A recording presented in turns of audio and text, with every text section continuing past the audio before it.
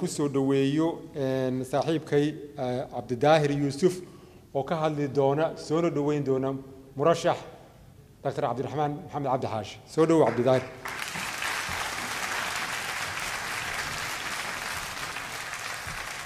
Salaamaya waxaan u istaagay cabdisalaan cabdi doctor cabdiraxmaan maxamed cabdi xaashi inaan soo dhoweeyo laakiin intaan u yeerin musharaxa oo aan idin horkeenin waxaan rabaa wax yar oo background ah inaan bixiyo.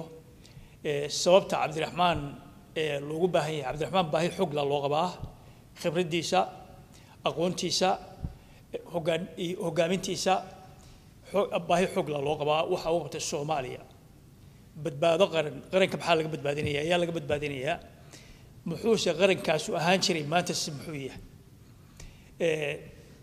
waxaan rabnaa halka kan caawa inaan ka bilowno. Dad badanna waana fiirsanayaan inteennana waynaga meesha joogna. Waxaan rabnaa caawa inaan halkan ka bilowno. Waana socotay caawana waa bilaabaynaa duulaan.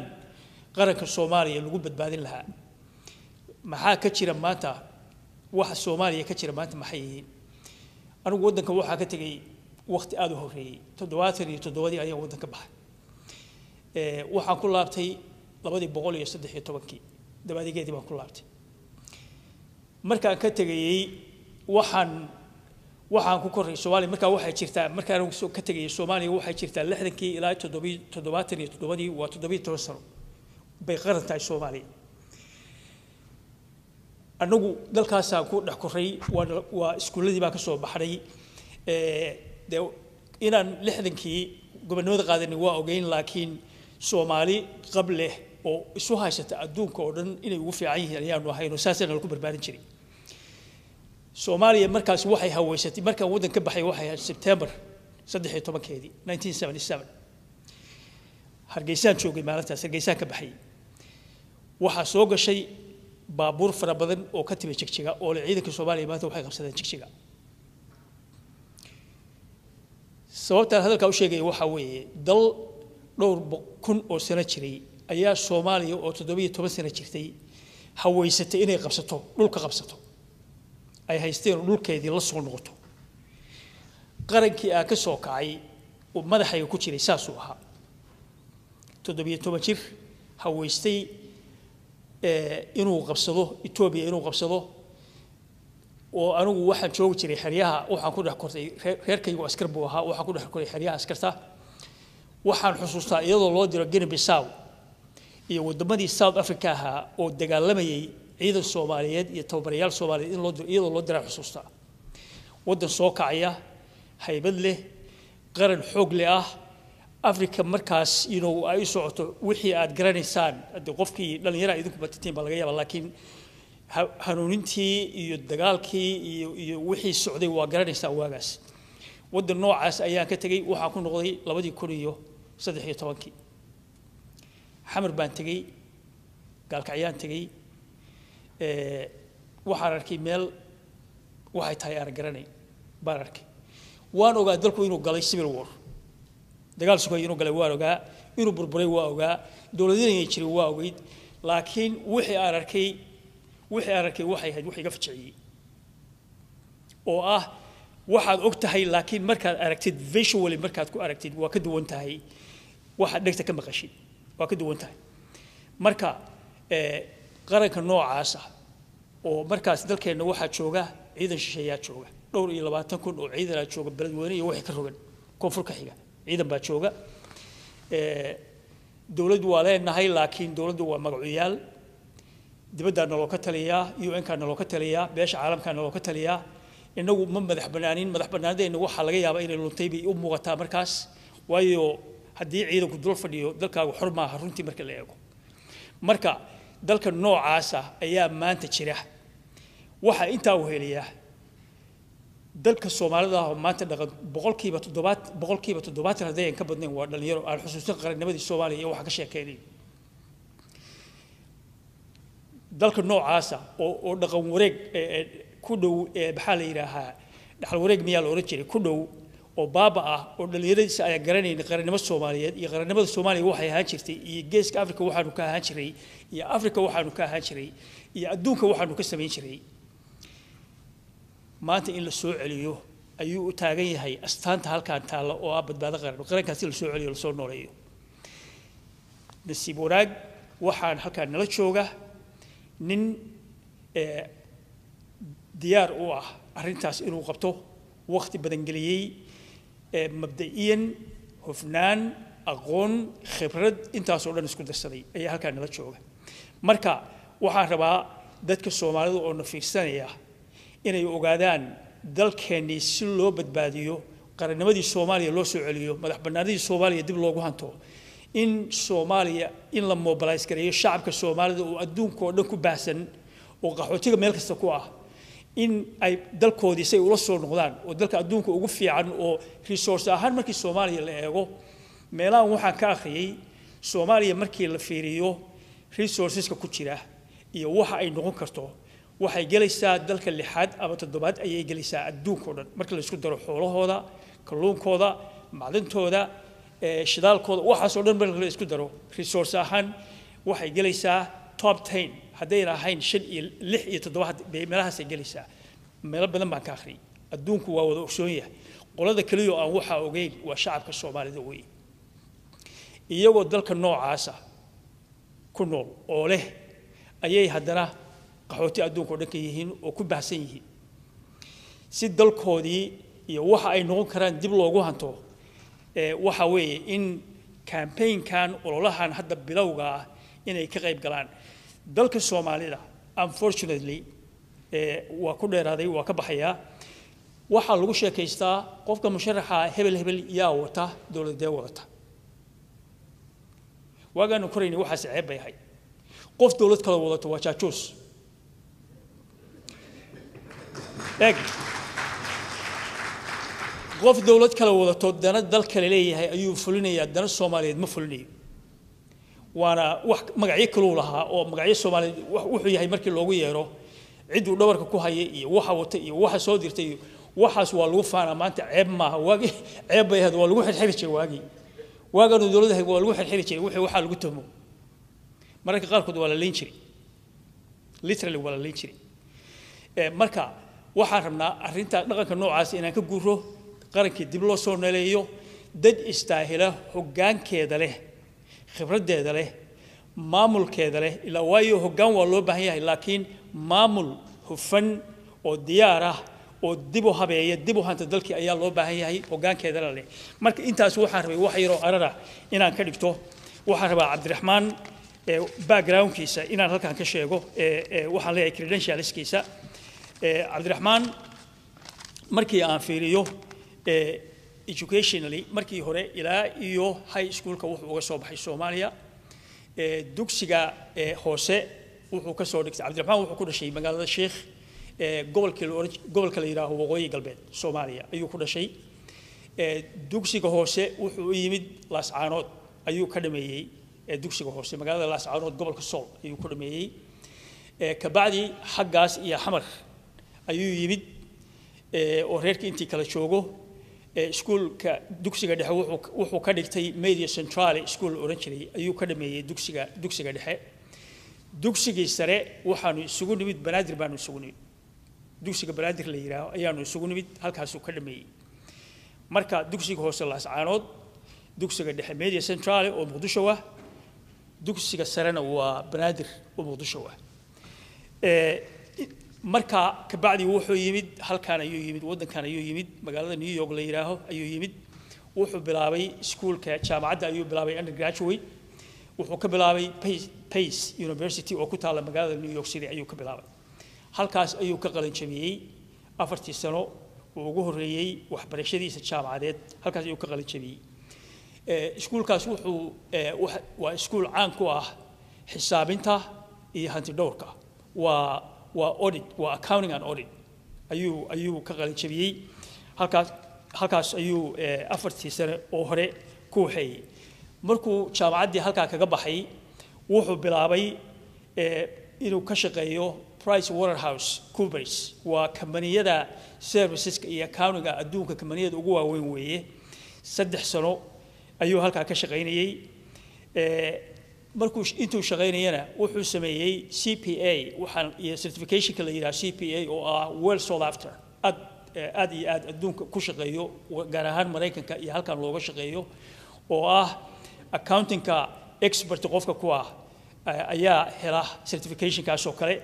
Marka certificationkaas ku shaqaynayey price waterhouse coopers halkaasuu joogay. Eh, kabacdi wuxuu shaqo ka bilaabay saddex sano kabacdi city bank oo ah bangiyada adduunyada ugu waaweyn bangi ka mid ah. Laba sano ayuu la joogay city bank Eh, intaa kabacdi eh, mar kasta wuxuu raadinayaa wax challenging ah. Wuxuu u wareegay isla new york city city bankna wuxuu ku yaalay new york city. Price waterhouse uh, coopersna waa new york city.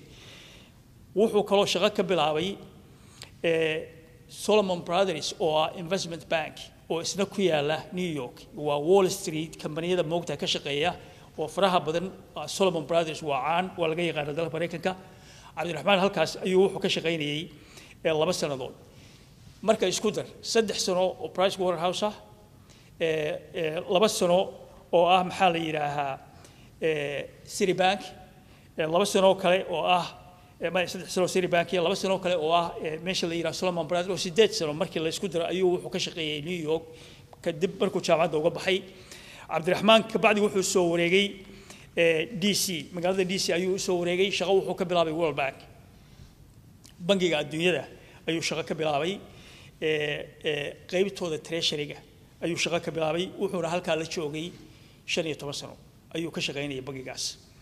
Waxaa isku dartaa marka siddeed sano oo new yorga khibrad new yorga oo corporate america iyo iyo world bank oo ah shan iyo toban sano waa saddex iyo labaatan sano oo corporate america experience iyo khibrada uu halkaas cabdiraxmaan uu ku halkaas uu ka helay.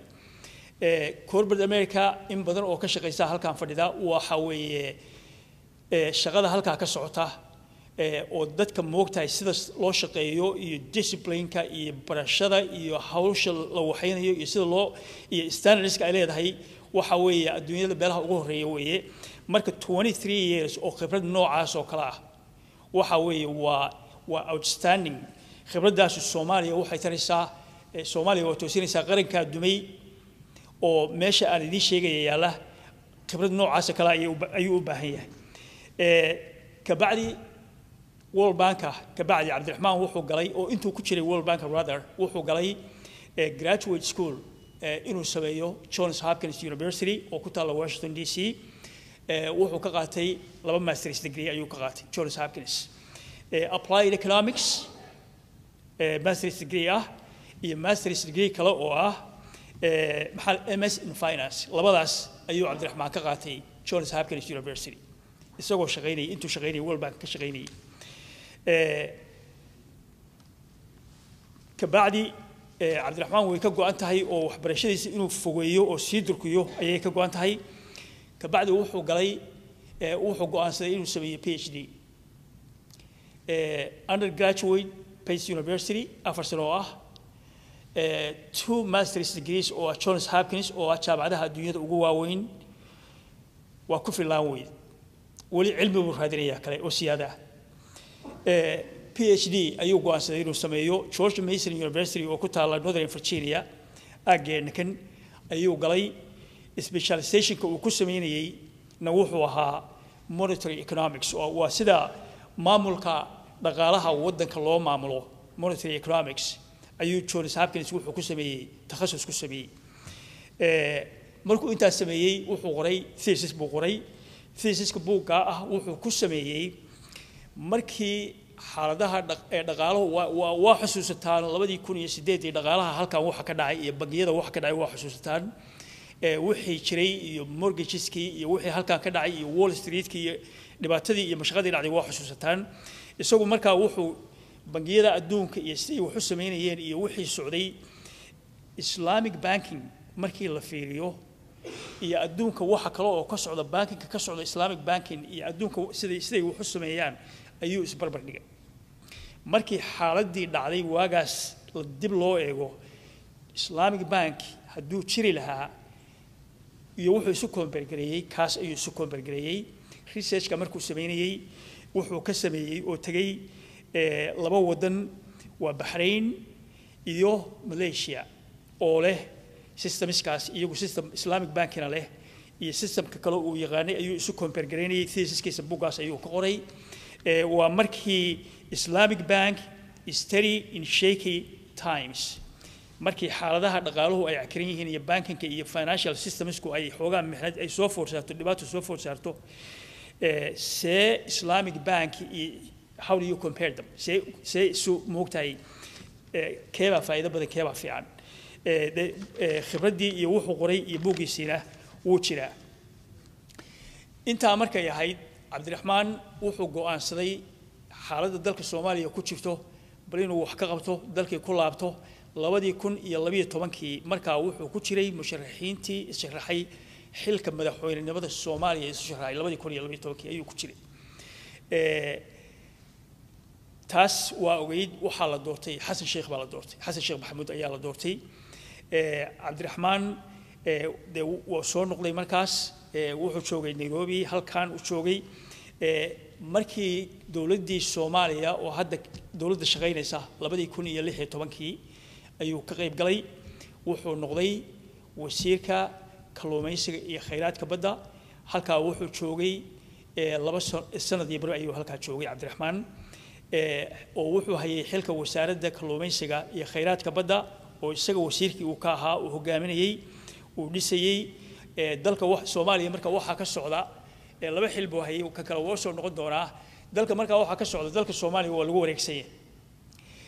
Eh, baddeenoo dhan dacalka dacal adduunkii baa isugu tegey illegal fishing baa jira waa laga kalluumaystaa hawsha isaga gacanta loo geliyay markaa waxa weeye arrintaas sidii loo sixi lahaa badda soomaaliya laga saari lahaa wixii illegal ku sooga hawshaas ayuu cabdiraxmaan markaas dhex galay dagaalkaas ayuu bilaabay guulooda waa ka dhaliyey waxyaabahu qabtayna waa idiinsii sheegi doonaa laakiin hawshaas oo socota ayuu xilkii isaga tegey waxyaabuhu xilka ugu tegay cabdiraxmaanna waa la ogyahay waana sheegi doonaa haddii rabbi idmo.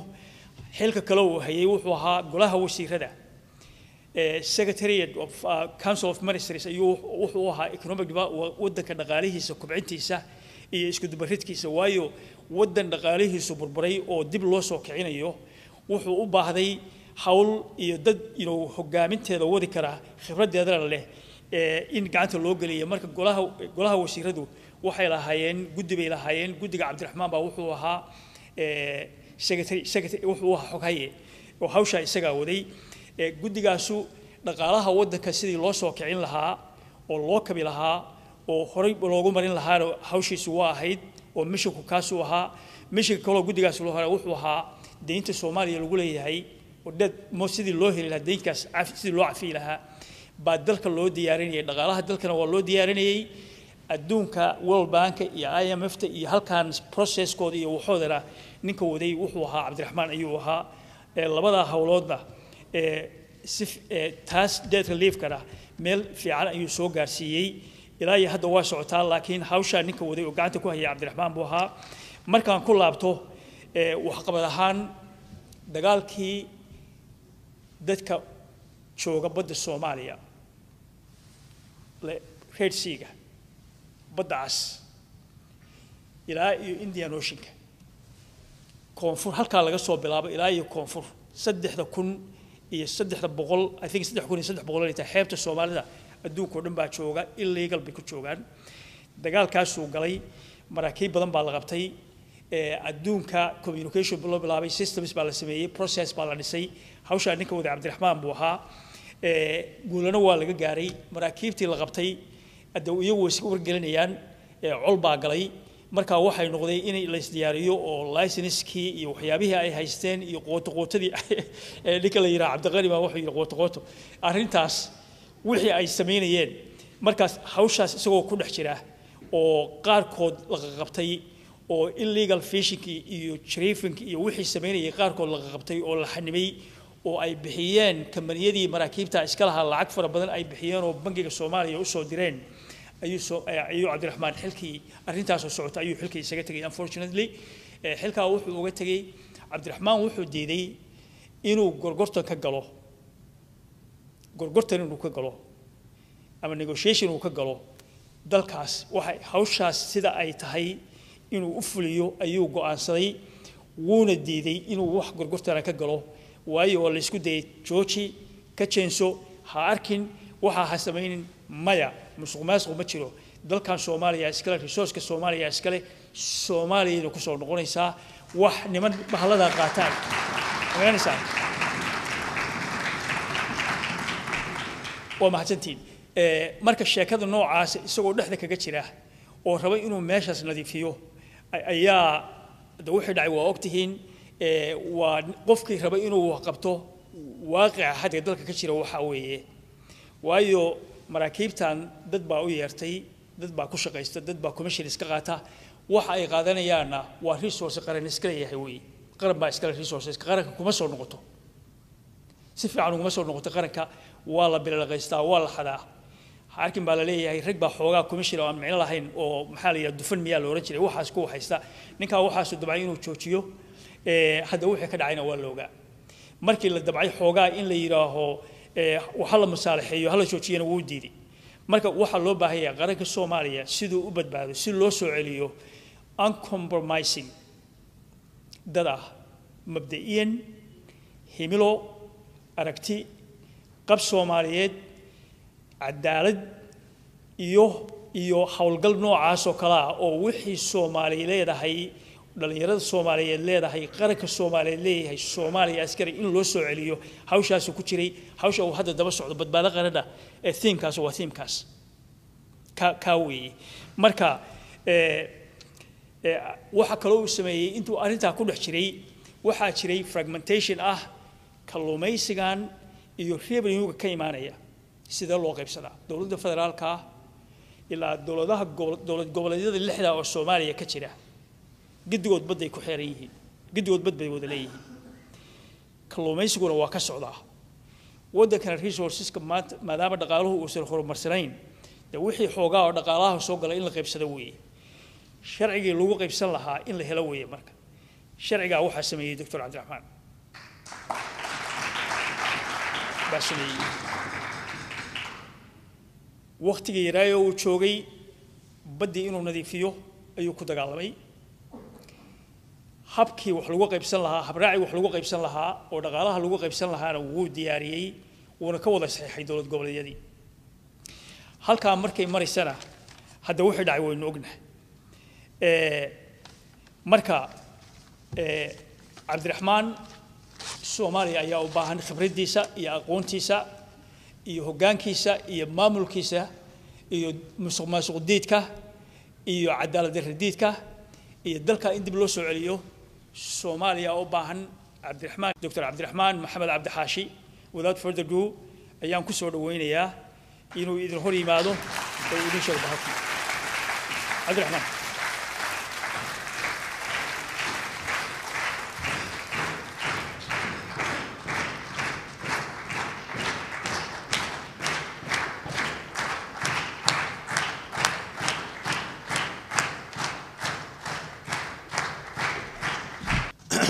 bismi illaahi raxmaani raxiim marka ugu horeysa waa goor dambe weeyaan waxaan jeclahay inaan aada iyo aada inigu mahad celiyo dadkiinan sharafta leh ee xafladda nagala soo qayb galay aada iyo aad baad u mahadsantihiin inaad maaragtay nagu soo biirteen xafladdan waxaa kale oo aan rabaa inaan u mahad celiyo dadkii akhyaarta lahayd ee brograamkan inoo daadahinayay oo ugu horeeyo sheikh aadam cabdiqani hiirad xuseen cali jaamac kamaal xaamuud iyo cabdidaahir aad iyo aad baad u mahadsantihiin waxaan rabaa marka hore inaan salaamo salaanta islaamka assalaamu calaykum waraxmat ullaahi wabarakaatu maadaama runtii ay goor dambe tahay barnaamijkan waday waa soo koobaya waxaana rabaa laba saddex su-aalood haddii waqti waaba goor dambey tahay inaan idinka fursadina siiyo marka barnaamijkeenu waa kaa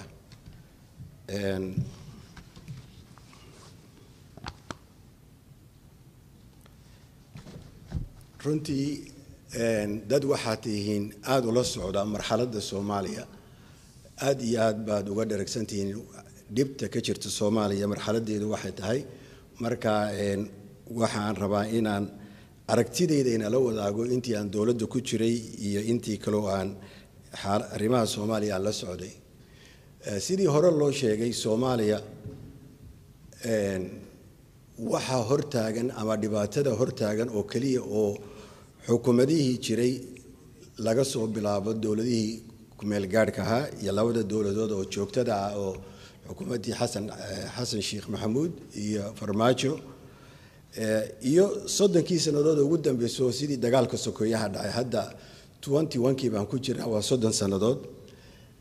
Waxa keliya oo soomaaliya horumar u sameyn weyday waxa weeyaan waa hoggaan la'aan weeyaan. Marka markaan leeyahay hoggaan la'aan macnaheedu waa maxay? Dhibaatooyinka soomaaliya ka jira waad ogtihiin oo aada baad uga dherigsan tihiin. Ta ugu horeysa waxa weeyaan soomaaliya amni kama jiro. Amni hadduuna jirinna wax kasta amnigay ku xidhan yihiin. Ama ha noqoto dhaqaale ama ha noqoto maxaanku idhaahaa horumarkii kaloo wadanka laga dhisayey cadaalad la sameynayo sharcigoo laga dambeeyo. Marka weli wakhtigan aan joogno amniga soomaaliya ma xasiloona. Waxaa kaloo aada ogtihiin dowladda soomaaliya ama dowladda dunida ka jirto o dhan waa saddex qaybood weeyaan ama saddex lugood bay ku taagan tahay. Waa qeybta ah fulinta oo ah executive-ka oo madaxweynaha iyo ra'iisul wasaaraha ah iyo qeybta sharci dejinta iyo qeybta kale oo ah garsoorka. Marka soomaaliya garsoorka haddaan ka bilowno soomaaliya garsoor kama jiro cadaaladina kama jirto. Qofkii lacagla uunbaa soomaaliya cadaalad hela. Musuq baana baahiyey. Marka saddexdii lugood lug ka waa maqan tahay waa kii garsoorka ahaa. Maxaa soo hadhay labaa soo hadhay fulintii iyo sharci dejintii marka haddii garsoorkii meesha ka baxay oo ahaa dastuurka wadanka hayay sharcigii kala dambeyntiisii hayay marka baarlamaanku culaysku uu soo wareegayaa ilaan dowladdii waa in korjoogto lagu sameeyaa waa in wax maaragtay haddii ay sharciga jebiyaan ama maaragtay wax xadida haddii ay maaragtay xadgudub sameeyaan. Baarlamaankiina waad ogtihiin oo markaan leeyahay soomaaliya warkeeda waad ka dharagsan tihiin baarlamaankiina wuxuu noqday baarlamaan runtii aada iyo aad xukuumaddii jirta ama tii xasan sheekh ha noqoto ama tii ha noqoto sheekh shariif ama tan hadda joogta waxa weeyaan dadkii markaa madax wadanka ka ah waxay bilaabaan in runtii dadkii madaxda baarlamaanka ka ah iyo dad kaleo doonayaan ama laaluush iyo lacag iyo waxay siiyaan. Marka xukuumaddan ugu dambeysay haddaan soo egno waxaad moodaa maalin dhoweed waad ogeedeenoo waxaa la yidhi laba sannadood baan ku darsananaa wakhtigoodii oo dhammaaday. Markaasa iyadoo qeyb ka mida oo aqalkii sare ayna joogin baa intay xukuumaddu qaar ka mida madaxdii aqalka hoose u tagtay bay waxay yidhaheen laba sannadood noogu dara. Dunidoo dhan markay ka qaylisayna waxay yidhaaheen waa ka noqonanaa. Marka waxaad u malaysaa guddoomiyaha baarlamaanka iyo baarlamaanka o dhan dowladda federaalka ama xukuumadda fulintaba remote control maaragtay ku maamusha. Marna waa ka noqonayaan marna waa maaragtay waa wixii loo baahnaa bay sameynayaan. Marka go'aamo adag oo masiiriya baa loo baahan yihiin arrimaha waaweyn oo cadaaladda dhaqaalaha wax laga qabto dowlad wanaag masuqmaasuqa lala dagaalamo khayraadkeena oo la ilaaliyo dadka ama waxa la yidhaha afka ingiriisida human capital oo wadan waxa uu leeyahay waa dadkiisa weeyaan. Dunidan waddamada la yaqaano ay ka mid yihiin horumaray dhaqaalaha xagga waddamada la yidhaaho asiada bari ku yaalla sida korea south korea wadanka la yidhaaho singapore iyo taiwan iyo jaban khayraad male laakiin waxa halkaa gaadhsiiya waxa weeyaan waa dadka ay leeyihiin iyo cilmiga weeyaan ay sameeyaan iyo kombyuutarada iyo waxay sameeyaan iyo waxaasoo dhan marka waa dadkaas weeyaan dadka wax soo saara. Wadankan maraykanka beelaha ugu waaweyn oo dhaqaalihiisu aada iyo aada ugu horumaray waxaa ka mid a meesha la yidhaaho silicon valley oo ay ku yaalaan shirkadaha ugu waaweyn ama ha noqoto telefoonada ama google ha noqoto ama ha noqoto amazon waxaasoo dhan waxa ay ku keenaan waa maskax weeyaan. Marka qarnigan aan ku jirno waa qarnigii la odhan jiray waa qarnigii cilmiga. Marka anigu intaan dowladda ku jiray waxyaalo badan oo dadku uu ka warqabo laakiin aad markaad aragtid sida sida ay muhiim u tahay inuu waddankani go'aan adag iyo madax maaragtay daacada oo waddankan dantiisa ka hormariya arrimaha khaaska oo maaragtay shakhsiga ah. Marka aan ka soo qaadno xagga garsoorka.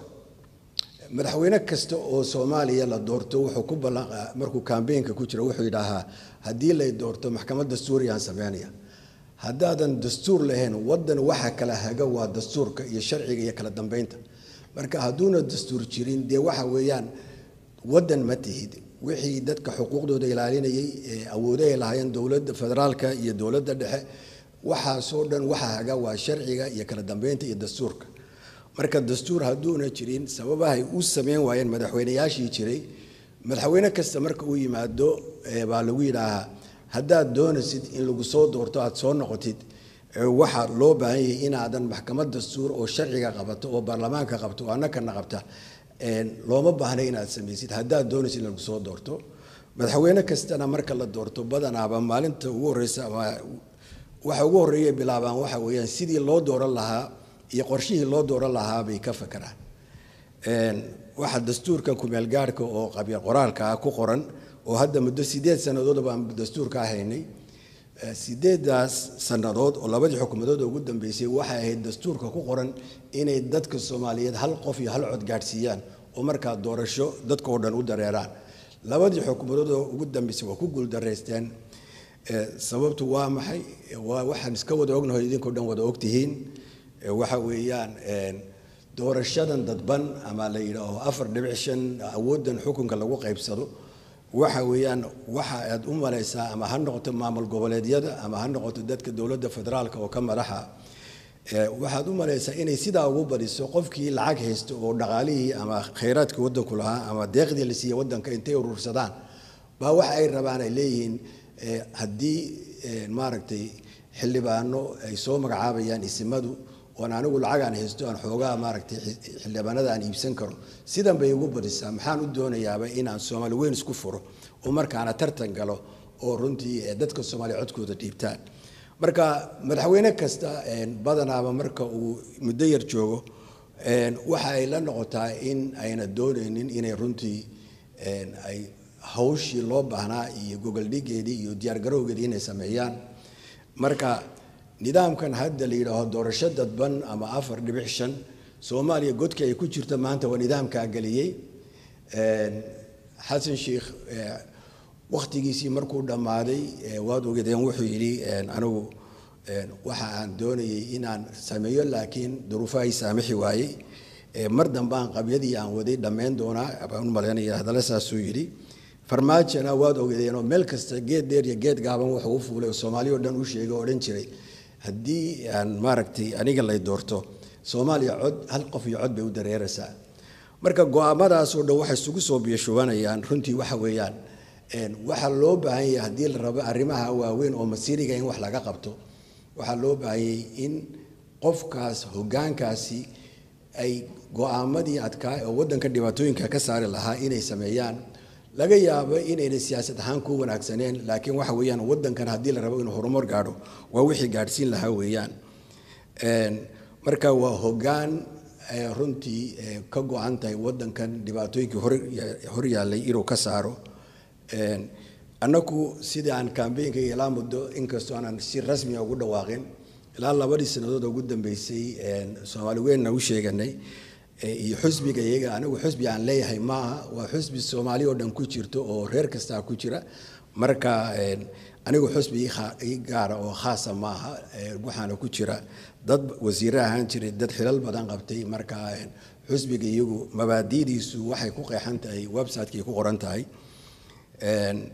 Marka anagu waxaan aaminsanahay haddii eebaydmo ilaahay fursadna siiyey in naloo doorto maaragtay aan xilkaa ku guulaysano mudnaanta iyada koowaad ma noqon doonto sidii naloo soo dooran lahaa inay noo noqoto annaka mudnaanta koowaad waxaa mudnaanta koowaad annaka naga mudan go-aamadii adka oo dastuurka oo kale sidii maxkamad dastuuriya waddanka sameyn lahayd dadka soomaaliyeed siday codan lahaayeen oo hal qof iyo hal cod loo siin lahaa arrimahaas oo dhan musuqmaasiqan jiroo baahay inaan wax ka qabanno arrimahaas oo dhan baan annaka naga goon inaan wax ka qabanno sidii dadkii iga horreeyey ay nii sheegeen runtii arrimahaasi waa arrimo u baahan xirfad madaxweyneyaashii iyo dad badan oo aana diyaar u ahayn shaqadan madaxweynenimadu.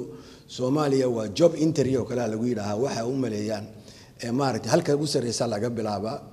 Dee qofkii khibrad iyo maxaanku dhaha aragti iyo meeshan inta aadan madaxweyne noqon ama wadankan ama waddan kasta ha noqoto dunida taladiisa intaadan qaban waa inaad ka fakartay oad garanaysaa waxaad qaban lahayd iyo qorshahaagu wuxuu yahay marka dad aan maaragtay howlahaas oo dhan isku taxallujin markaad timaadid waxaa fududaanaysa markaad xilkii fadhiisatid oo kursigii ku fadhiisatid oo breshar badan kusoo fuulo oo mashquul noqonaysid oo waxyaalo badan lagu sheego arrimahaadana aanan weli maskaxdaadu aanay ku kala baxsanayn waxaad qaban lahayd dadka ku ag joogo ka ag dhow baa ku imaanaya ku odhanaya madaxweyne howlaha annakaa naqaano waa howlo maaragtay aan ka soo fakarnay.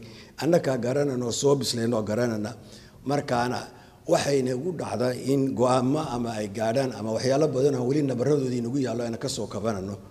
Waxaa ka mida xukuumad xukuumaddii haddaan ka soo bilaabo sheekh shariif saaad ula socotaan hadda muranka ka taagan oo biyaheeni iyo baddii soomaaliya iska lahayd iyo kenya isku haysataan inakoo baddeena iyo dhulkeena leh oo muran ka jirin baa dad baa intay u yimaadeen maaragtay waraaq soo qorteen. Ay leeyihiin bal baddii naga dhexaysa inakiyo soomaaliya. Maaragtay dowladda kenya iyo wadamo kale oo ajnabi oo dana kale khaasa kale sida waddanka norway. Intay u yimaadeen baa madaxdii waddanka loo keenay markaas waxay saxeexeen intaasoo calanka saan u qaadanay weligeed lama arag dowladda kenya ama wadan kale oo biyaheen iyo baddeen iyo khayraadka ku jira sheeganaya marka khatartay leedahay dadka dadka aana diyaarka ahayn oo kale. Marka waraaqdaasa laska saxeey wax fudud oo kooban oo kale ama aan macno lahayn oo kale waakeed weli waad la socotaan dhibaatadeedii way noo socotaa. Haddaan ku xigo xukuumaddii isaguna xasan sheekh waad la socotaan oo hadda batroolka wadankeena laga helay. Dadka soomaaliyeed waxaa laga yaabaa inayna si wanaagsan maaragtay ayna u fahmin waxa gacanta loo geliyey oo la siiyey nin ruusha oo nimanka la yidhaha oligarchs oo nimankan khayraadkii waagii ruushku baabay soviet unionku oligarchs baa la yidhaha. Waa nimanka runtii dhaqaalihii wadanka iyo khayraadkii intay iibsadeen bilyaneerey noqdeen. Marka batroolkeena iyo shirkadeenna soomaaliyeed nin ruusha iskale oo maaragtay somo oil shirkadda la yidhaaho boqolkiiba lixdan majoritygeeda wax iskale nin ruusha iskale boqolkiiba soddon wax ku dhowna wax iskale. Nin ahaan jiray xusbiga la yidhaho conservative partyga wadanka ingiriiska oo la yidhaho michael howard oo ninkii la odhan jiray david camer cameron ka horeeyey isaga. Baa waxaa la siiyey boqolkiiba soddon baa la siiyey. Boqolkiiba lixdan ku dhowaad waxaa la siiyey nin ruushaas kale. Hal doolar iyo hal shilin ma siinin soomaaliya. Marka siday ku dhici kartaa qof maxaanku dhahaa wadankan u damqanaya oo caqlile oo wax kala garanaya badda iyadii iyo khayraadkii batroolka iyagii iyo wixii oo dhan baan siin karaa shirkad aana waxbay siinin.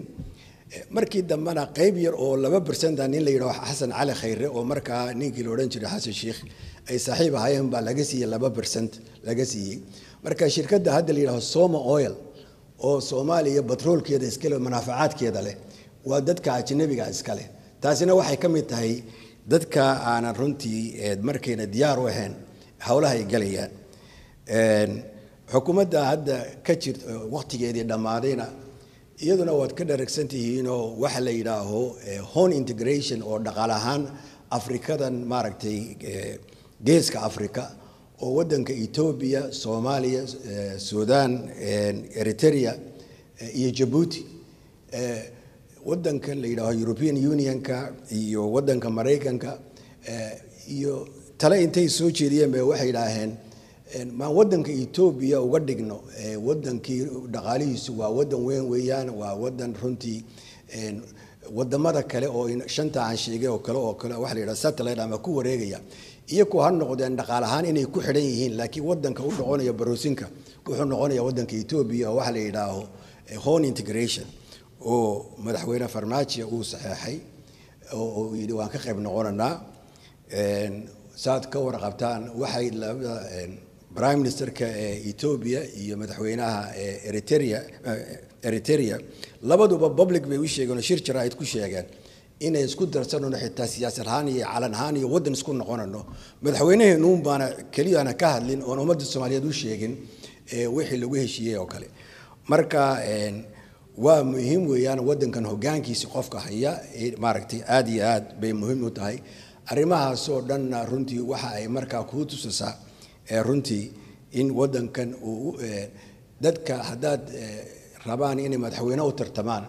Waa in su'aalo la weydiiyaa waa in journalistiyaasha weydiiyaan maxaad aaminsan tahay maxaad qabatay maxaad waxaasoo dhan tahay. Soomaaliya miidiyaheena joogtay iyo warbaahinta soomaaliya ka jirta hawsha ma galaan. Waxay ka shaqeeyaan maalin kasta oo ay ka hadlaan keebaa taabtay carruurta markaystaa taabato arag.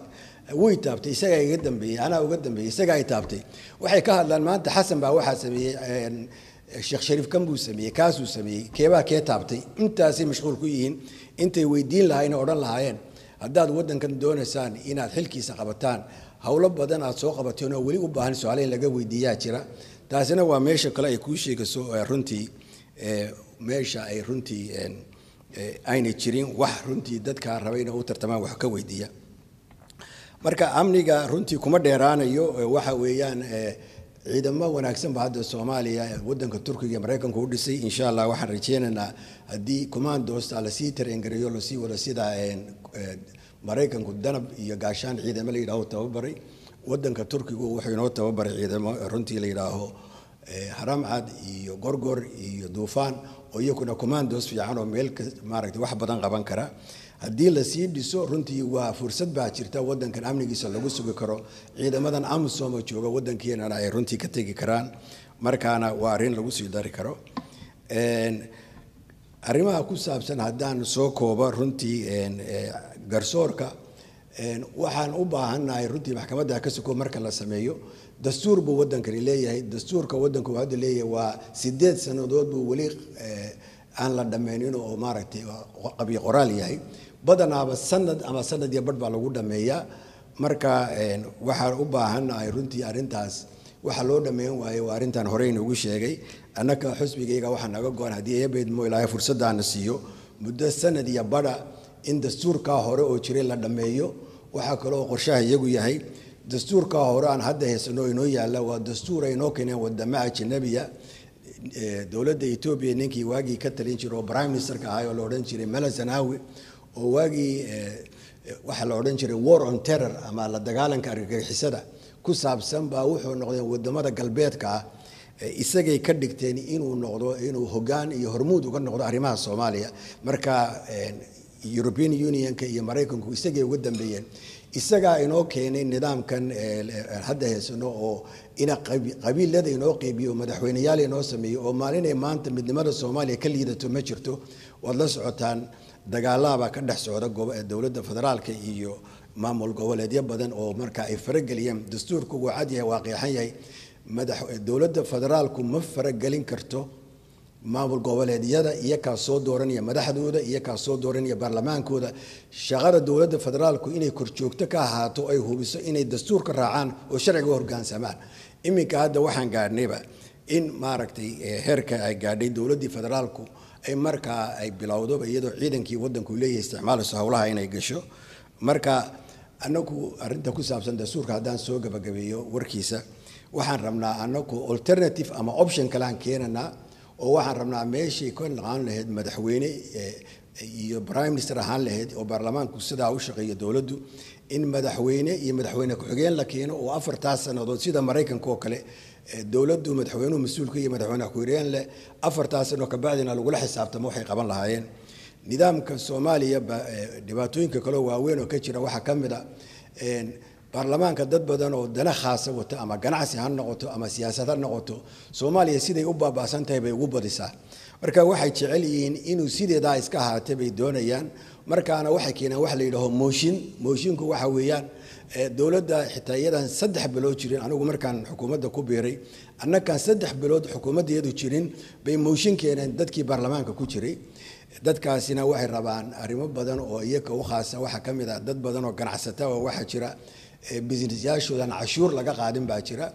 Xildhibaano waxaa jira marka ay dhaqaalahoodu ama pocket manigu ka dhammaado oo dhan iyo dowladda waa gelgelinaa waa inaad maaragtay mooshin baan keenanaa marka xukuumaddan at least intay ku dhaanto xukuumadihii hore waxa weeyaan at least saddex sannadood iyo badh bay jirtay. Prime ministerkii joogay madaxweynuhu wada joogaan. Xukuumaddii ka sii horreysay saddex prime minister madaxweynihii joogay maaragtay uu marayay arrimahaas oo dhanna waa arrimaha soomaaliya siyaasaddeeda ragaadiyey. Marka haddii afartii sanood la doorto oo madaxweyne iyo madaxweyne ku-xigeen hawshooda ay dhammeynayaan afar sano kabacdi ummadda soomaaliyeed ha kula xisaabtanto. Hadday u arkaan inayn hawshooda maaragtay ka soo bixin dee iyakaa runtii bedelaya hadday noqoto. Marka taasina waa arrin kale oo aad maaragtay muhiim u ah. Arrinta kaleoo ku saabsan haddii la rabo waddankan doorasho qof iyo cod ah oo madax bannaan oo xalaala inuu ka dhaco waxaa loo baahan yahay waddankan dib heshiisiin dhaba inay ka dhacdo. Weli waddankan sidii dagaalkii sokeeye aan nimid dib heshiisiin dhaba looma sameynin marka waxaa loo baahan yahay guddi heer qarana oo dad soomaaliyeed aan siyaasadda ku jirin oo akhyaara oo dad wanaagsan oo la garanayo in guddigaa loo magacaabo. Markaana ay bilaabaan ilan haddaad rabtid inaad hal qof hal cod samaysid waa in laga soo doortaa tuulooyinkii magaalooyinkii iyo gobolladii in laga soo doorta dadka. Marka sidee baa kuraasta loo qaybinayaa imise kursi bay helaysaa deegaankaasi. Markaana waxaad u baahantahay waxa la yidhahdo tirakoob tirakoob haddaadan sameyna dee ma ogaan kartid. Kuraastii iyo waxay noqon lahayn marka hawshaasi waa hawl culus oo weyn oo laakiin haddii la rabo wadankani inuu ka gudbo waxaa la yidhaaho hal qof doorashadan dadban uu ka gudbo waa in hawshaa la qabtaa. Xukuumadihii jiroo dhan aan inii sheegay oo dhan xitaa hal beri ama hal maalin mayna gelin xitaa inay hawlaha bilaabaan. Hawlaha keliyaaba qaadanaya saddex sannadood si ay uga qabato marka taasaa lafteedu wax kale kaa tusisa runtii in hawlihii wadankani horyaallay aan waxba laga qabanin. Marka taas intaasaan uga gudbayaa xoogaa yar waxaan laba kelmadood ka odhanayaa arrimaha dhaqaalaha. Intaana taa ka gudbin waxaan rabaa inaan in yar ka hadlo qolooyinkan xagjirka ama al-shabaab oo wadanka haysta. Waxa weeyaan laba arrimood bay xididadooda u dheer yihiin oo u adagta in la soo saaro oo wax looga qaban kari laayahay mid waxa weeyaan cadaalad daraa ka jirta beelaha waaweyn oo meel kasta jooga soomaaliya beelaha ka yaryar bay muquuniyaan oo cadaalad darro ku sameeyaan maalin kasta. Marka beelaha yaryar iyo dadka beeraleyda oo meelaha jooga cadaalad waxay u raadsadaan al-shabaab bay u raadsadaan oo leh wadankan dowladda ka jirta waa dowlad musuq aana dani naga lahayn. Marka cadaaladii aad maaragtay istaahisheen annaka ayna siinana nagu soo biiro wiilashiina na siiya ha nagu soo biireen markaas waa ta ugu weyn oo weli ay xoog u leedahay in wax laga qabto. Haddii la rabo inay qolooyinka xagjirka wax laga qabto. Arrinta kaloo labaad oo iyaduna aada muhiimka ah waxa weeyaan waxaa la yidhi gaajadu diinta gaajadu diinta waa kaa saartaa. Wadankan shaqa la'aan xoog laha ka taagan oo dad aada iyo aada runtii u dhibaataysan baa jooga wadanka jooga. Marka dadkaasoo dhan runtii dee haddaadan shaqahaysan oo reerkaagii iyo waa inaad maaragtay dee qutulyoomkoodii u soo saartaa. Marka maadaamana shaqa ka jirin wadankii qolyahaasaa lacagtay maaragtay ka boobaan oo baada uga qaadaan dadka. Bay yidhaahaan boqol dollar baan kuu siinayaa maaragtay caruurtiin iyo faamiligana lagu masruufo. Wiilkiina na siiya ama caruurtiina dhallinyarada na siiya hanugu soo biireen. Labadaa arrimood weeyaan oo aan weli wax laga qabana la adirisgareen hadday dowladdu dhaqaalaha dhisto islamarkaana wadankanna cadaalad dhaba ka samayso markaas waxa wiiqmaya awoodday lahaayeen. Markaana ciidankii waxa kaluu qaban lahaa hawshiisa waa fududaanaysaa. Taana intaasaan ka odhanayaa marka arrimaha dhaqaalaha ku saabsan iyadoo tafaktiran waxay ku jirtaa website-ka iyaga. Laakiin laba saddex wuxuun baan ka odhanayaa. Saddex ilood saddex ilood oo dhaqaalo waaweyn buu wadanku leeyahay oo haddii lahayd mo shaqo badanna abuuri kara dhaqaalo badanna laga heri karo soomaaliyadana saboolnimada xooggeeda ka saari karta saddexdaa ilaaheed iloo dhaqaalo ilaahay ku manaystay wadanka soomaaliyeed mid waa kalluumaysiga sidii hore loo sheegay badda ugu dheer baan leenahay soomaaliya oo saddex kun iyo saddex boqol oo mayl ah iyo marka la eegana aagga dhaqaalaha ma afka lagu yidhaaho special economic zone oo ah hal milyan iyo laba boqol oo kun oo kilomitir oo isku wareega. Waa aagga dowladda dhaqaalaha leedahay oo maaragtay wasaaraddan anigu ka ahaa maaragta wasiirka ka ahaa ay mas'uul ku ahayd shatigeeda inay bixiso. Waxyaalahan ogaaday intaan dowladda ku jiray waxa weeyaan maaragtay kalluunka ku jira iyo qanigu iyo dunida wax haysataa ma jiro. Ilaa laga bilaabo maxaanku dhahaa hirarka meelaha ugu badan oo kalluumada xoogooda yimaadaan nafaqadiisu waxay ka soo bilantaa wax la yidhaaho hirar waaweyn oo australia ka soo bilaabo oo ka soo baxa indian oceanka dhinacaan leenahay. Markaana nafaqo badan bay keenaan. Waa meesha ugu kalluun qani badan oo nooc kasta leh ee maaragtay dunidao dhan.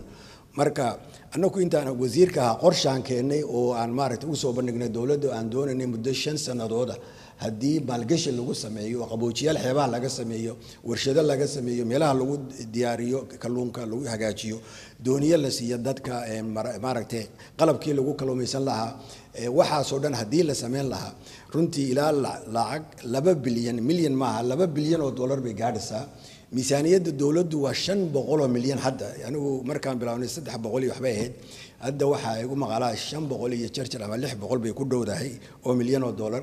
Marka badda oo keliya waxaan idhi laba bilyan oo dollar ka imaanaysa. Taasi waa mid. Waa ilahaan ku leeyahay dhaqaalaha wadankan maaragtay wax soo saar ka soo saaraya oo shaqadana abuuraya dad badanna runtii noloshooda bedeli lahaa. Waxa kaloo aan leenahay oo ilaahay nagu manaystay waa xoolaha aan leenahay xoolo dhaqantaana wadankeenu shan boqol oo shan milyan oo neef oo xoolaha bay markay ugu badnay waayihii ugu dhoweed u dhoofiyeen wadanka sacuudiga iyo wadanka imaaraadka iyagoo sidoodiiya baan dirnaa oo u dirnaa runtii waddamada. Laakiin qorshahan anagu soo wadno oo barnaamijkayga ku qoran oo websitekayaga ku qoran haddii kawaano waaweyn oo casriya laga sameeyo soomaaliya xoolaha lagu qalo oo gobol kasta xoolo badan leeyahay markaana hilibkaas haddii lagu rido package oo kale supermarketyada dunida loo diyaariyo waxa la geen karaa waa waxa la yidhaha organic food. Waa cuntada dadkao dhan doonaya waayo waa dhir dhirta dhir wanaagsan iyay daaqaan. Marka waa aad baa loo qiimeeyo lacag badan baa lagugu siinaya hilibka organic food baa la yidhaha oo dunida laga yaqaano. Anigu wasiirka intaan ahaa wadanka turkiga iyo maraan tagnay wadamo badan oo bariga dhexaa oo ka mid tahay ciraaq iyo ay ka mid tahay. Aad iyo aad baan u doonaynaa bay yidhaaheen haddii xoolihii oo la qalo oo maaragtay sidii hilibkii oo la geeyey supermarketada halkaana ilaa saddex bilyan milyan maaha saddex bilyan oo dollar oo markaa markaa kuleeyahay diyaaradahan cargo hilibkan diyaarado baa qaadayo markiiba supermarketada dunidao dhan geenaya.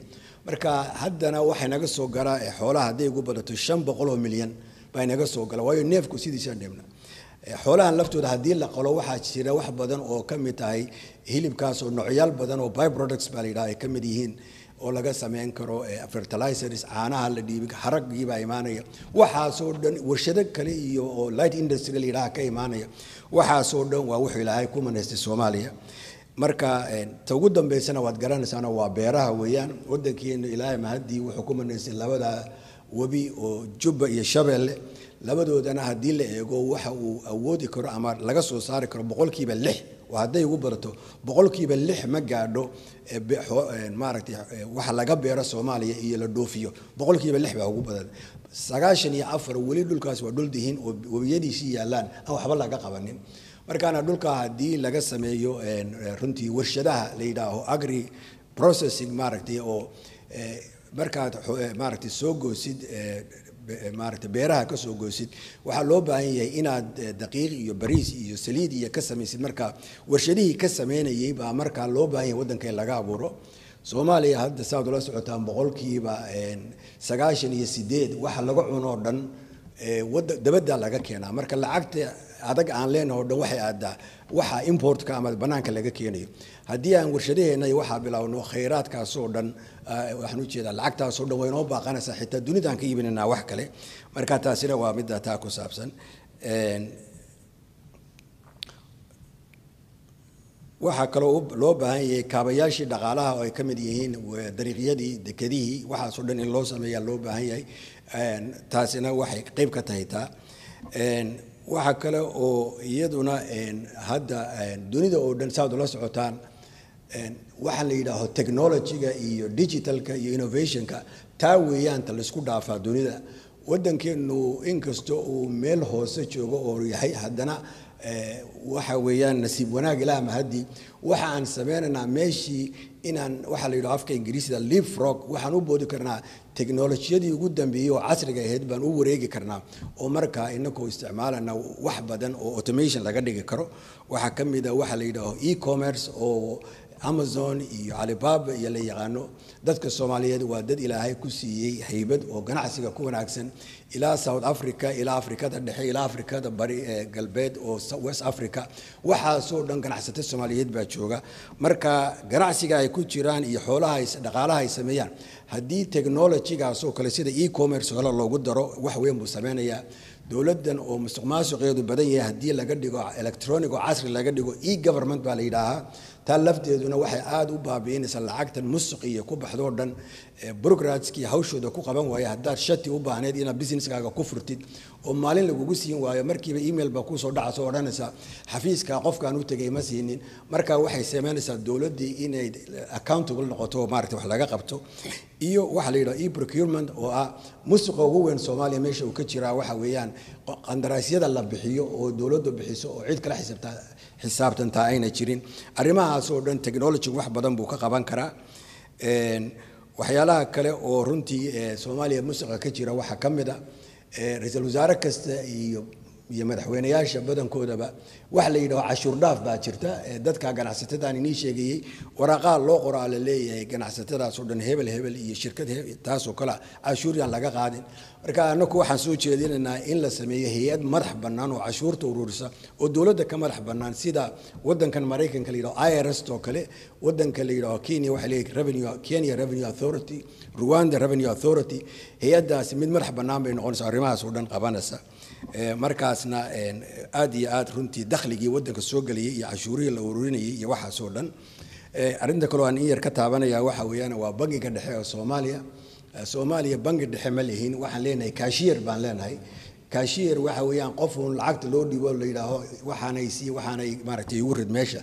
Bangiga dhexe oo wixii loogu talagalay inuu sameeyaa wadankan saad loo socotaan dhaqaalaha soomaaliya waxa weeyaan dollar weeyaan buu ku shaqeeyaa. Waa dollar economy boqolkiiba labiyo toban bercent baa ah lacagti lacagtii hore oo soomaalida ahayd oo hadda iyaduba gebigeeduba qiimo beeshay.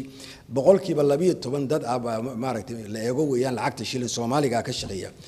Inta kale oo dhan xooggeedu waa dollar. Dollarku hal cudur buu leeyahay oo wadan dhaqaalihiisa uu leeyahay. Dollarku waxa weeyaan waxa ugu yar oo maaragtay sarifka ugu yar waa hal dollar hal doolarna waxa weeyaan soomaaliya dadka jooga oo ah dadka masaakiinta oo aada iyo aad maaragtay u tabar tabardaran dadkaasi dollar waa ku badan yahay. Waxaa loo baahan yahay dollarka wax badan oo sarifa oo qotolyoomkooda ay ku iibsan karaan oo badan.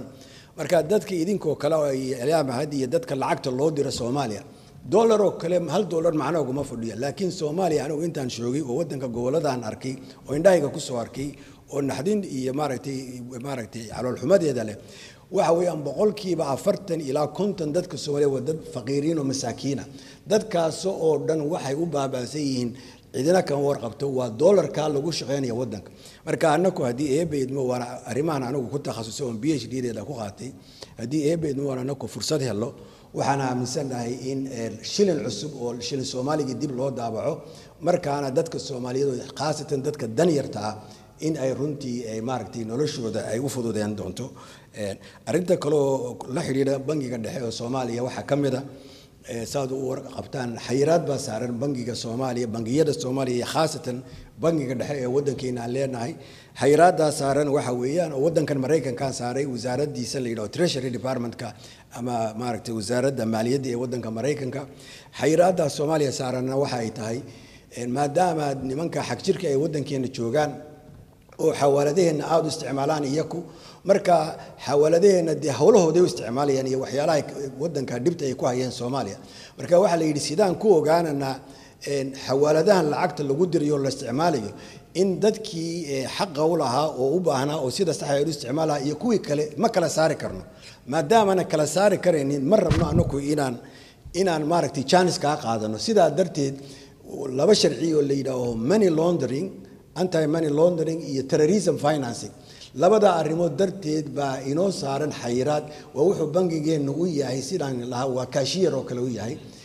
Marka lacagtii iyo dhaqaalihii maxaanku idhaahaa deeqbixiyaashiina siiyaan wixii waddankeena soo gala. Waxaasoo dhan bangi yar oo ku yaalla waddanka turkiga oo bangi yar oo istanbul ku yaalla. Bangigaa yarbaa waddankaa dhan oo madax bannaan oo qaranka ah bangigaa yarbaa inoo kafaalo qaada inakoo qaran dhan oo waddan dhan oo dhisan oo isagaa lacagtiina loogu soo shubaa sidii xawilaad oo kalea marka halkaasa swift code iyo meelaha dunida ugu soo diraan halkaasaa loogu soo diraa. Istanbulna waxaa looga soo qaanaa maaragtay jawaanaa looga soo qaadaa. Lacagtoo sideediio jawaano lagu sido baa diyaarad intaa la soo saaro jabuuti la soo mariya marka dambena khasnad weyn iyo meel volt weyn ay leedahay bangiga dhaxal lagu shubaa. Soomaaliya lacagteeda iyo siday u shaqaysaa kaa weeyaan marka arinta xalkeedii muxuu noqonaya arrintaasaan uga bixi lahayn hal shuruud oo keliyana lagu xidhay oo arrintaasoo dhan wax ka qaban lahayd. Xukuumaddii ka horreysay waa ogeed tanna waa ogeed waxbana kama qaban. Waa maxay? Waxaa la yidhi national biometric i d waa inaad leedihiin aad samaysaan national biometric i d muxuu keenayaa wuxuu kuu sheegayaa qofkii xawaalada dirsanayoo lacagta ka isticmaalayay qofkuu yahay bay ku cadeynaysaa markaana waad kala saari kartaa dee qofkii legitimatka ah iyo qofkii kale. Marka qolyaha xagjirku dee ma doonayaan farsuulkoodii in la qaadiyo waxaasoo dhan.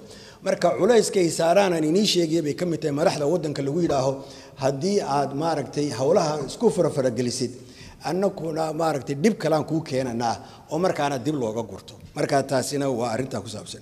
Arrinta national biometric i d-ga intaan ku jiro laba qodobo kaleo muhiimaan rabaa inaan iniga sheego.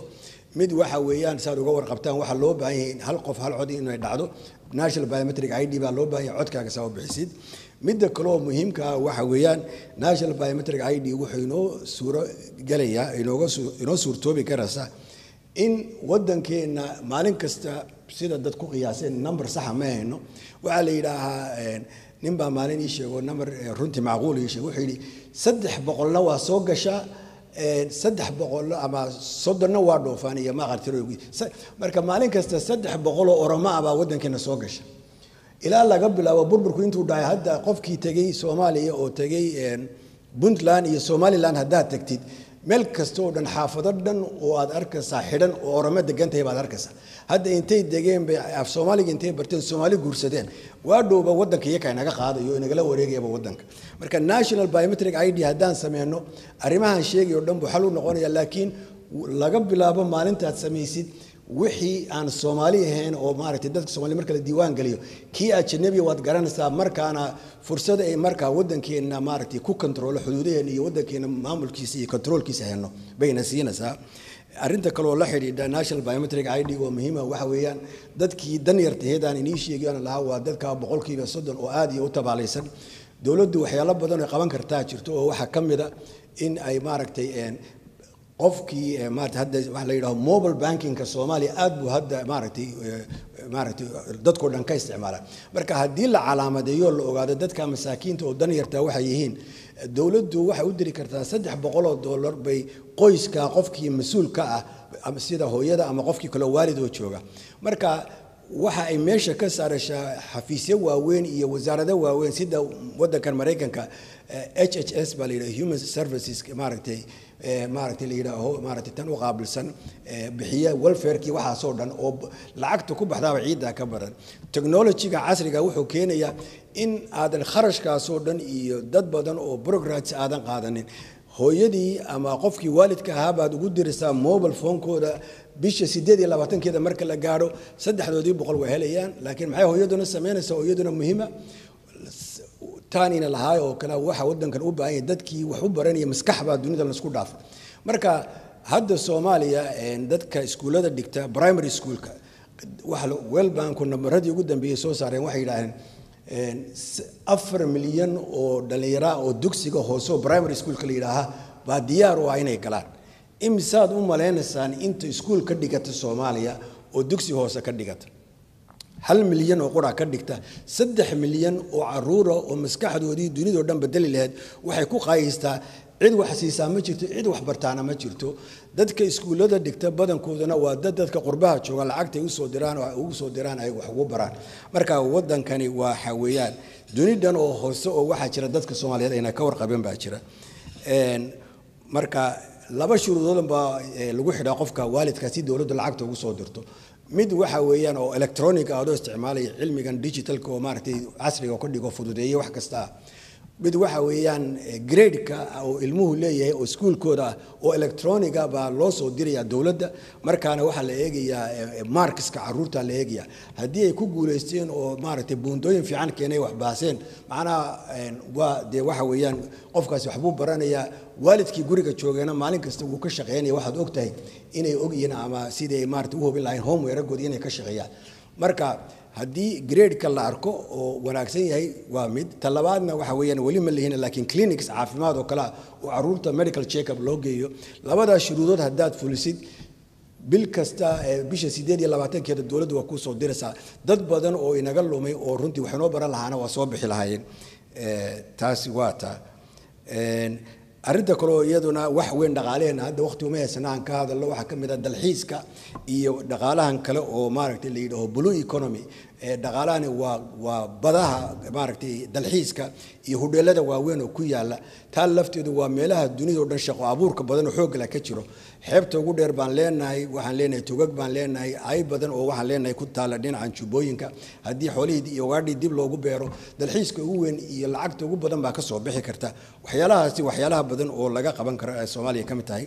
Arrinta ku saabsan dowlad wanaag iyo musuq maasuqa haddaan korbaro si dhaqsaa waxaa loo baahan yahay dhowr hay'adood oo dowladda ka mida oo musuqa ugu weyn oo ka jiro in laga dhex saaro xafiiska ra'iisul wasaaraha ay noqdaan xafiisyo ka madax bannaan sida waddankan maraykanka iyo wadamo badan. Xisaabiyaha guud qofka la yidhaaho maarata xafiiska weyn oo muhiimka ah oo xisaabiyaha guud la yidhaaho hantidhowrka waddanka xafiiska iibinta ama procurement officeka la yidhaaho hay'ad yar lahaa lacagtay ururinaysa oo somali revenue authority baan anagu magacan u bixinay sida waddamada kaleo afrika oo kale ka jira waxaasoo dhan waxaa loo baahan yahay inay ka madax bannaanadaan oo dadka loo magacaabayaa dad la soo tartan ku soo galay hufan xirfad leh iyo markaana lagula xisaabtami karo miisaaniya miisaaniyadooduna ka baxsantay dowladda oo uu prime ministerka iyo madaxweynuhu uuna pressure saari karin oo mishaarada sida sida gudoomiyaha baarlamaanka korontada biyaha laga goosto oo kalea inaan waxaasoo kale lagu sameynin oo kalea marka arrimahaasoo dhan waa arrimo muhiima oo aan anaku aaminsannahay waxyaalaha musuq maasuqa aad wax uga qabanaya soomaaliya inay tahay. Waan inii kormaray caafimaadkii waxbarashadii iyo siday muhiim u tahay in meeshan gaadhi lahayn taa waa ka gudbayaa inta ugu dambeysana waxaan ka hadlayaa xoogaa laba kalmadood waa khayraadka waddanka uu leeyahay. Khayraadka waddanka uu leeyahay waa laba nooc weeyaan khayraad waa ka badda ku jira iyo wixii kaloo badda ku jira oon anigu wasaaraddan joogaya kaasi waa khayraadka qaybta maaragtay qaybtaasi waa taa qaybta labaadna waa batroolka iyo macdanta ku jirta waddanka marka labadaa wasaaradood ama labadaa qaybood batroolka iyo macdanta iyo kalluumaysiga wixii ku jira khayraadka waddanku leeyahay waa labadaa weeyaan marka saan hore iniigu sheegay oo iniigu taabtay waad ogeedeen sida musuqa ka dhacay iyo sida loo bixiyey iyo maaragtay arrimahaas maaragtay kuma maaragtay kuma dheeraanayo laakiin hal qodob baan iniga sheegay oo aan laga yaaba inaydan ka warqabin shirkadda aanina lahaa soma oil oo xasan sheekh waqtigiisii bixiyey shirkaddii ay maaragtay iyo ku qorteen oo u baadhaya badda eegayo cilmigan marka maaragtay badda maro oo seismic technology intuu ku baadho eegayay inuu batrool ku jiro markabkaasi wuxuu ka bilaabay raasgamboni ilaa meesha la yidhaho hobyo buu gaadhay markaana waxaa lagu calaamadiyey laba boqol iyo lix blog oo bloggii waxaa laga yaabaa toban kun oo mile on square inuu yahay marka min raasgamboni ilaa meesha la yidhaaho maaragtay hobyo laba boqol iyo lix blog baa laga soo saaray kharashkii ku kacday oo intaa lagu sameeyey waxaa lixdan iyo afar milyan buu ahaa lixdan iyo afar milyan buu ahaa sixty four million dollars buu ahaa marka shirkaddii waxay yidhaaheen dowladdiinu lacag ma haysataan lacag la'aan baa ina haysa. Marka uma baahnin inaad lacagna siisaan. Waxaad magdhow nooga dhigtaan aad noo siisaan bay yidhaaheen labadaa boqol iyo lixdaa bolog oo aan nidhi batrool badan baa ku jiroo buuxa. Magdhow waxaad noo siisaan labiyo toban bolog oo annaku kuwan xulanna labiyo toban bolog oo labadaa boqol iyo lixdaa bolog labiyo toban aan annaku xulannay magdhow noo siiya million dollarskaan ku sameynay waxba hana siinina. Marka dadka sidaa odhanaya waa dadkii iyo ku macluumaadkii sirtii hayay oo dhayraha sameeye weeyaan kuwa sidaa kugu leh. Xukuumaddii xasan sheekh wuxuu u saxeexay inuu labiyo toban bolog magdhow u siiyo. Labiyo toban bolog marka la eego lacagteedu waxay gaadhaysaa trillion. Trillion waa kun bilyan weeyaan trillionku. Marka labiyo tobanka ay ogyihiin meeshii saliidu ka buuxday haddii uu magdhow u siiyo uu u saxeexay madaxweynihii waddanku oo prime ministerkiisina u saxeexay waddankan soomaaliya wuxuu ilaahay ku caamiyey oo ilaah mahadiisa mar kastoo khidad loo dhigaba ilaah baa ka saara dabin kastoo loo dhigo. Hay'ad la yidhaaho ma raba inaan inagu dheeraado technical oo yidhaho f g c financial governance committee waa waxay ka kooban tahay wadamadan deeqbixiyaasha european unionka maxaanku idhahaa bangiga dunida i m f-ta bangiga african development banka wasiirka maaliyadda oo soomaaliya jeergareeya iyo gudoomiyaha bangiga dhexe iyo anigu markaan golaha wasiirada ku jiro guddiga dhaqaalaha madax u ahaa aniguna xubin baan ka ahaa. Marka ururkaas waxaa loo sameeyey waxaa la soomaaliya inay tahay wadan musuq baa aada u baahiyey oo aan hal shilin lagu aamini karaynin marka waxaa la sameeyey xukuumaddii xasan sheekh waqtigeedii baa la sameeyey marka ururkaas ujeedadiisu waa maxay? Waxay eegaan kontraktyaasha waaweyn oo wadanka ay dowladdu saxiixdo ama heshiisyaday gasho bay eegaan. Ay odhanayaan waxani wax macquula ma yihiin. Marka guddigaasi bawer male waxoodu tala soo jeedinun bay leeyihiin awood male ay dowladda amar ku siiyaan. Laakiin annaku talaan bixinaynaa bay yidhaaheen maadaamay tala bixinayaan ku jiraan well banki iyo i m f t iyo ku jiraan european unionkii dee madaxda soomaaliya joogta iyo eegaan deeqbixiyaashaasi wixii ka cadhaysiiya way ka fogaadaan marka haddii ay yidhaahaan tale waxay noola agtay waxay yidhaaheen labiyo tobanka blog oo madaxweynihii iyo dowladdiinnii aada u saxeedeen waxaa la dhacayaa bay yidhaheen soomaaliya dhaqaalaheedii iyo dadkeedii baa la boobaya khayraadkeedii baa la dhacayaa bay yidhaheen iyaka dartood ay diideen baan ku badbaadnay oo xukuumaddii xasan sheekh waqtigiisi ku dhammaatay iyada oo maaragtay f g c daasi diiday marka taana taasaan ku badbaadnay xukuumadda hadda jirto anigu qayb ka ah waageedii horena iyadu markay timi oo ra-iisul wasaarihii labada bersent ku lahaa ninkii waagii ku lahaa xasan cali khayre uu hadda ra-iisul wasaarihii waddanka yahay oo isagu ra-isul wasaare ka ahaa isaguna wuxuu abruuf gareeyey in meeshii laga sii miiso oo labiyo tobankii blogoo loo diido kuwii hore waqtigoodii dhammaaday inuu yidhaaho iyakana ha loo sii wado. Marka arintiina weli qolooyinkii f g c daan ii sheegay baa hortaagan orda soomaaliya marka aad aan ka hadalnaan leenahay wadankani muxuu u kici waaye oo meel u gaari waaye oo dhibta uu ku jiro uga bixi waaye waa taa cad wey waa arrimahaas weeyaan. Waa ku dheeraaday arrinta ugu dambeysaan waxaan leeyahay marba waxaan leeyahay waa tii ugu dambeysay laakiin markan waa tii ugu dambeysay weeyaan. Ugu dambeysa waxa weeyaan waad ka warqabtaan waddankeena cimiladan isbedbedelasa abaaro badan oo soo noqnoqdo isdabajooga yimaada waxaa yimaada daadad badan baa yimaada webiyadan fataha baad aragteen. Marka cimiladan isbedelasa saameyn weyn bay u leedahay. Afartii sannadoodba dadka xoolo dhaqatada abaar weyn baa ku dhacdo dhibaato weyn baa ku dhacda. Arrimahaasoo dhan waxaa loo baahan yahay qorshe cusub oo dowladdu la timaado oo wax looga qaban laha arrimaha cimilada waxyaalahan ka wada shaqeyn karno wadamadan dariska nahay oo waa laga yaabaa waxyaala kale inay danaheennu ku kala duwan yihiin. Laakiin innakoo dhan waxayna midayso oo meel isugu keenta. Hal doon baan wada saaran lahay isku region baan ku lahanaa dhibaatooyinka abaarahaas maaragtay ka imaanaya arrimaha cimilada. Waa arrimo innakoo dhan ina saameysa. Marka anaku waxaan soo jeedinay in research center weyn ay wada leedahin east africa iyo horn of africa ay wada leeyihiin lacagta iyo dhaqaalahana intaa la sugeeyo markaana si aan runtii wax uga qabanno waa waxyaalahan anaku soo jeedinay. Arrinta kale oo soomaaliya ka jirta aad ka warqabtaan waxa weeyaan aad iyo aad buu runtii deegaanku runtii nabaadguur weyn baa ku dhacay iyo aad iyo aad iyo dhirtii soomaaliya o dhan xooggoodii waa la xaalufiyo dhuxul iyo waxaasaa loo xaalufiyey arrimahaasoo dhanna waa arrimaha annaka qorshe noogu jira. Iyo dee qaxootiga iyo barakacyaasha waddanka ka jirana iyakana waxa aan runtii annaka qorshaha iyagu yahay in khayraadkan iniishigo ahaa maaragtay beerihii kalluumaysigii iyo maxaanku dhaha xoolihii inaan kuwaasoo dhan aan dowladdu ay maalgeliso sidii dib loogu soo celin lahaa. Halkaasaan ku joogsanaya waana mahadsantihiin wasalaamu calaykum waraxmat ullahi wabarakaatu asalaamu calaykum waraxmat ullahi wabarakaatu magacayga waxaa la yidhaahaa iimaan daahir xaaji cali waxaan doonaya inaan ku weydiiyo baarlamaanka soomaaliya waxaa la soo dhigay xeerka qoyska oo siddeed iyo toban ah baarlamaankii baa is hortaagay. Marka waxay yidhaaheen shareecadda islaamka ma waafaqsana oo waxay yidhaaheen fifteen waa inay noqotaa. Saynu ognahayna sacuudi arabiya waxa weeye waxay ku qoran oo kacbaddii ka dhisan tahay.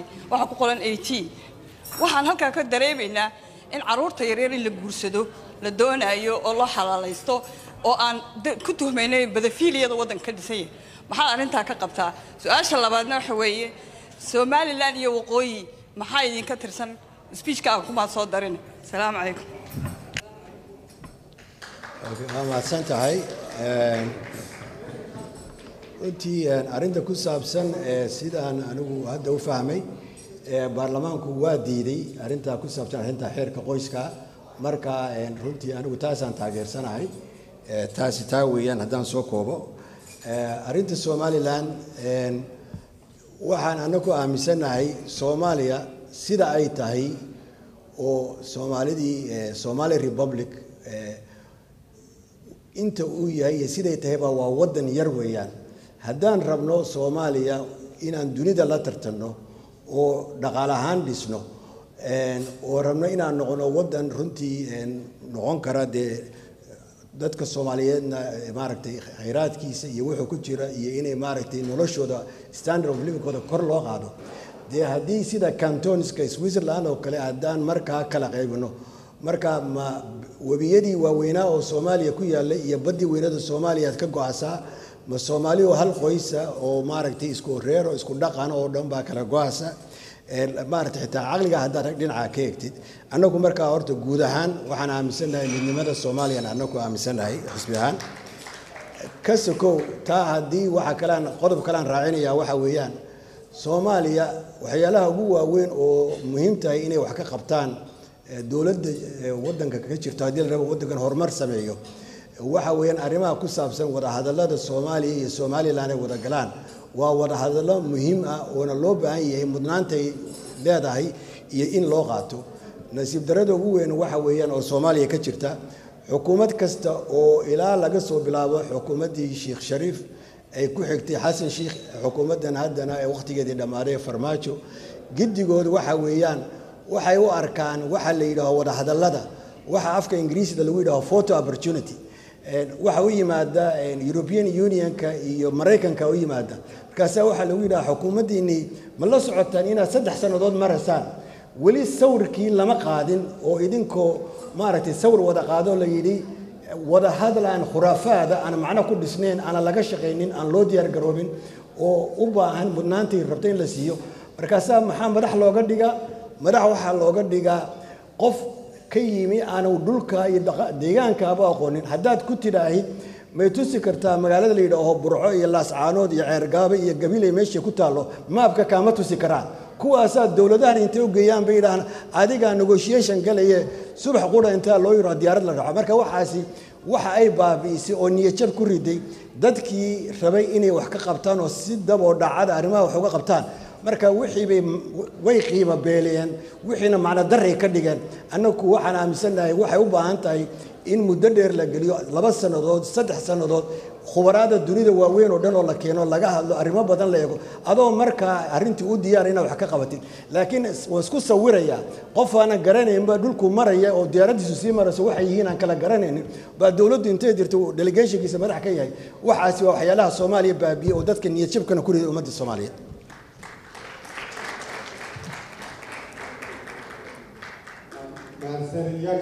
cabdiraxmaan eh, su'aashaydu waxaa weeye marka hore waa ku mahadsan tahay fikraddii ahayd in laga takhalluso prime ministerka oo madaxweyne ma- madaxweyne iyo madaxweyne ku-xigeen. Waxaan u malaynayaa waxyaabo badan bay xal u helisaa soomaaliya siyaasaddeeda su'aashaydu waxaa weeye adugu waxaad tahay nin u s ah saan u malaynahayo Eh, fikradaadu see tahay in lagu daro nin walba oo xukunka soomaaliya qabanaya oo darajo ilaa baarlamaanka ilaa madaxweynaha ah inay ka tanaasulaan citizenshipka waddamada kale. Waa gartay. Su'aal wanaagsan weeyaan waa kaaga jawaabaya. Waxa weeyaan kuwa aan hadda inii sheegayey oo aan inagu yidhi een, khayraadkeennii waxaasay bixiyaan. Waa soomaali iyo waxba ma haystaan. Meesha waxa weeyaan waxa wax qabata waa damiirkaaga iyo shakhsiga iyo soomaalinimadaada iyo waxaa tahay. Taa weeyaan ta muhiimka ah. Kuwii haystay aanan haysanin baa waddankii oo dhan bixiyey. Marka wadaninimadaada ay ku xidhantahay waxaad adigu qabanaysaa. Taasi waa mid. Midda labaad waxa weeyaan soomaaliya dad badan baa waxaad moodaa maanta dagaalkii sokeeye markuu ka dhacay soomaaliya maxay ku badbaaday soomaaliya? Oo waxaa lagu qiyaasaa laba bilyan oo dollar oo lacagta la yidhaho remittance ama lacagta dadku diraan ay u diraan. Dadka soomaaliya badbaadiyey oo maanta soomaaliya u baxay oo ilaah mahadiisa waa dadka qurbaha jooga lacagta soo dira. Marka dadkaasi waa dadka dhisay oo businessyaashii haddaa aragtay muqdisho meel kasta dhisay oo maalgashiga kasaday waa dadkaa weeyaan. Waxaa la eegayaa waxaad tahay waxaad aaminsan tahay ficilkaagaa la eegayaa. Anigu taasaan aaminsanahay bismi illahi raxmaan raxiim walaal bulsho wanaagsan cabdulaahi baa la yidhaahdaa aad baan ugu qanacay waxyaalaha aad ka hadlaysid.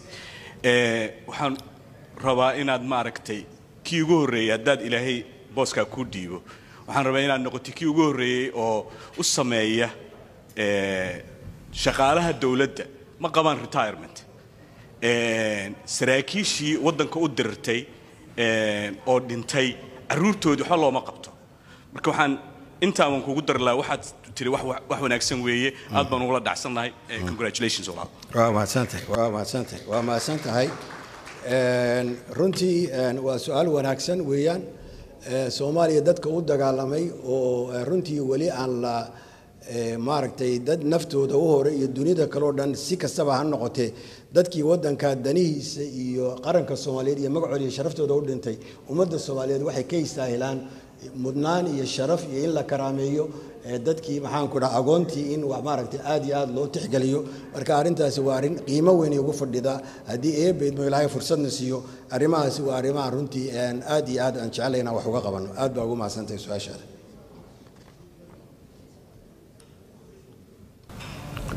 Asalaamu calaykum. Calaykum asalaam waxaa tiri dowlad federaal ayaa meesha ka jirta gobollada sida puntland ama hiiraan oo kale way ka madax bannaan yihiin dowladda dhexe. Laakiin markay dhaqaalo timaado dowladda dhexe ayaa wax kasta mas'uulka ah. Dhulka federaalka ayaa xukuma soomaaliya cirka federaalka ayaa bixiya badda federaalkaa bixiya. Haddii kismaayo ceel batrool laga helo ma jubbaland bisaa leh khayraadkaas mise soomaaliya oo idil baa leh ilaa hadda siday u socoto gobolba wuxuu isu haystaa inuu dowlad gaara yahay qaar baa aaminsan haddii hiiraan ceel laga helo hiiraan keli inay leedahay. Labadaas marka inay kala caddaysaan rabaa waa gartay waa mahadsan tahay. Arrintaa xoog xoog laan ka haya anigu sidaan ku yidhi khayraadka waddanka oo ah batroolka iyo macdanta iyo khayraadka kaloo kalluumaysiga dastuurka soomaaliyeed waxaa ku qoran oo ku qeexan oo si aada ugu qeexan khayraadka waddanka waxaa wadale inay wada qaybsadaan dowladda federaalka iyo dowladaha xubinta ka ah dowladda. Sidaasay ku qoran. Marka haddii maanta tusaale kuu soo qaado batrool laga helo beledweynaha haddii batrool laga helo sharciga u yaallaa waddanka waxa weeyaan meeshii laga helay ilaa shan iyo toban barcent oo kale meelahaasoo kale baa xaq u leh in la siiyo.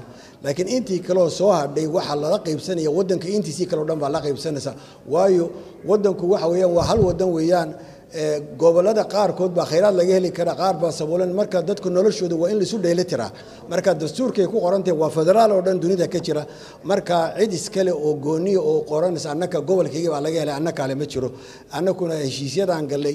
Maalmo dhan baan wada hadalka siduu maaragtay cabdidaahir kuu sheegayey Eh, olmost wiig dhan baan xamar joogno oo shanta maam madaxweyne maamul goboleed iyo ra'iisul wasaar khayre aan ka doodanay oo sidii loo qaybsan lahay bersentajkii ka hadlanay marka anigu waxaan u arkaa nidaam wanaagsan weeyaan cadaaladna way ku jirtaa. Eh, khayraadkana waddankao dhan manaafacaadkiisa weyna qof kasta gaadha. Okay very